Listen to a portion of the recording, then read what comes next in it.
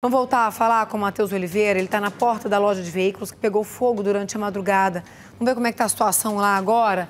Matheus, conta pra gente. Muita destruição, né?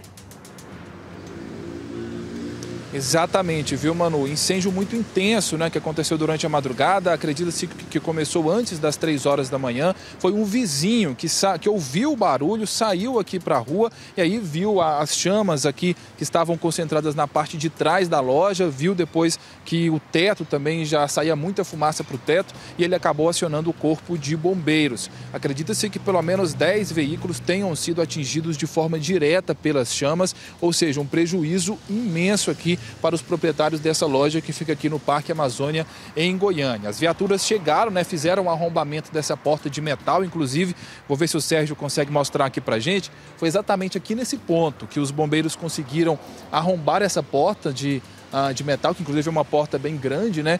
Eles utilizaram até um bloco de cimento, e aí por meio desse bloco, um dos bombeiros passou terminou de fazer a abertura e eles conseguiram combater as chamas. Inclusive está aqui com a gente agora os dois proprietários dessa loja, né? Pode chegar para cá, é o Júnior e o e o Judson, o Júnior e o Judson, eles chegaram aqui inclusive pouco ah, depois que os bombeiros chegaram também, já estavam combatendo as chamas.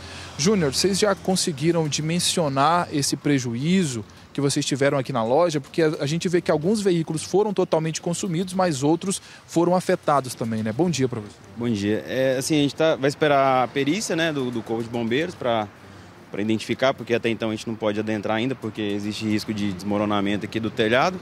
E a gente, a gente não sabe o que fazer. É, é uma vida de trabalho que está aqui dentro, né? E a gente. É, eu não sei, assim, é uma situação difícil, porque é uma empresa familiar, é eu, meu irmão, meu pai, minha mãe.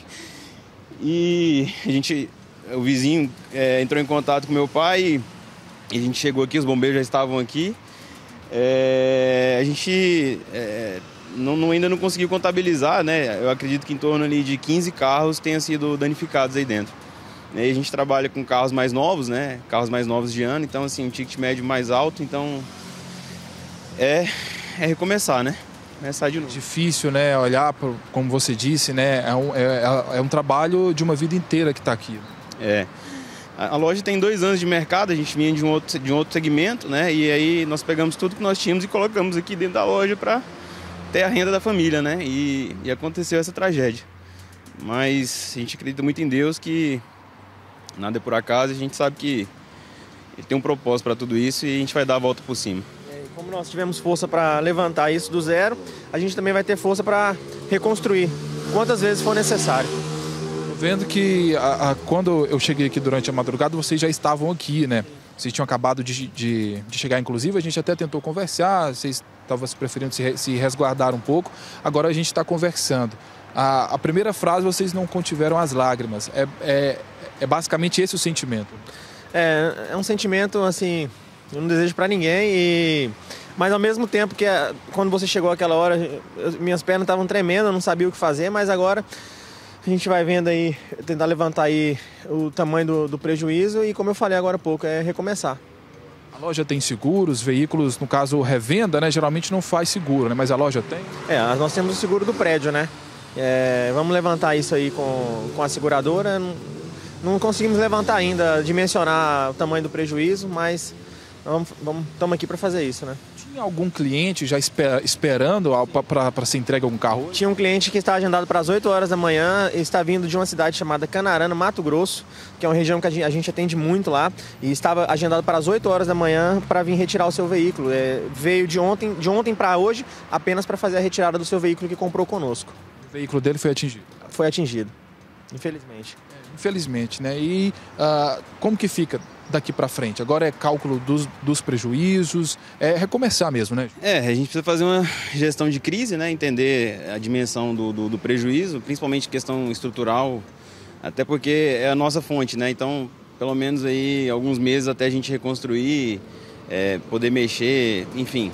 Então, é, nós estamos ainda naquela, naquele processo ainda digerindo toda essa, essa situação e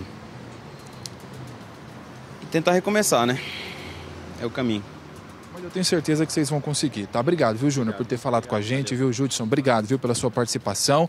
Então é isso, mano. Uh, eles aceitaram falar com a gente, né? E, passaram bem, né? Esse sentimento que está trazendo agora esse prejuízo que eles tiveram aqui por conta desse incêndio. Lembrando que uh, o Corpo de Bombeiros informou, inclusive, que o telhado ele acabou cedendo por conta das altas temperaturas. Que se um carro desse tivesse queimado, já seria o suficiente para o teto ceder. Essa estrutura metálica não iria suportar uh, as altas temperaturas. Mas como vários veículos queimaram, então toda a estrutura do teto acabou ficando comprometida. Então, realmente veio abaixo, né, por conta das chamas. Os bombeiros até tiveram um pouco de dificuldade para passar para o lado de trás, por conta ah, que o teto desabou, mas eles conseguiram fazer o rescaldo, conseguiram combater as chamas de forma eficaz.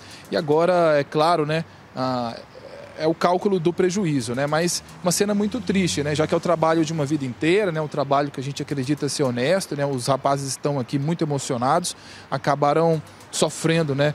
Com essa perda, com esse prejuízo. Felizmente não tinha ninguém aqui na loja, um segurança, alguém que pudesse estar aqui durante a madrugada, então ninguém ficou ferido, mas são danos materiais, né? São prejuízos aí que eles vão ter que correr atrás. Detalhe que o carro mais caro da loja, o Júnior estava me passando agora há pouco, que era uma BMW avaliada em 280 mil reais, estava mais no fundo, ela queimou por completo, ou seja, esse talvez tenha sido o maior prejuízo ah, que eles tiveram em relação a esses veículos. Agora, com todos esses veículos aí atingidos, mais de 10 carros, é possível que o prejuízo tenha passado de um milhão de reais, contando com a estrutura também. Vamos torcer aí para a seguradora, né, aqui desse prédio, aqui da loja, a cobrir esses gastos, cobrir esses danos. Manu, eu volto com você aí nos estúdios. Daqui a pouquinho tem a matéria completa que nós fizemos aqui com o Corpo de Bombeiros, com o vizinho aqui, inclusive, que falou com a gente, que fez o registro. Ele saiu aqui na porta, fez um vídeo das chamas que estavam concentradas